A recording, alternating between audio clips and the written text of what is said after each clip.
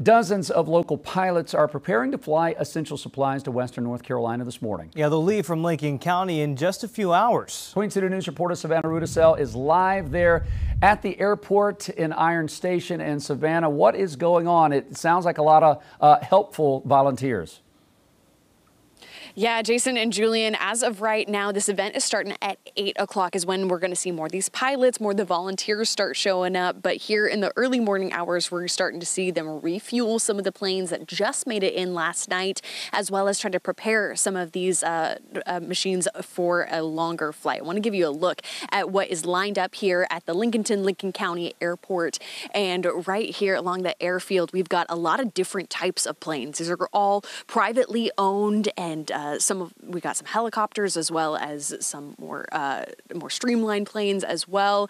They were able to get out yesterday. They said at least 60 trips with all of these planes. They are loaded up with supplies, things that are trying to reach the people in some of the hardest hit areas in western North Carolina. And these uh, planes are all each individually going out there and dropping off supplies. And we were talking with some of the managers of the airfield here this morning. One thing that's keeping them very busy is President Biden's trip, and he's taking an aerial tour over some of those impacted areas as well, which really impacts how these pilots go because there's a temporary stoppage when you can't quite share that airspace when you have the sitting president in it as well. So that's something that they are working out right now as they're starting to refuel some of these planes.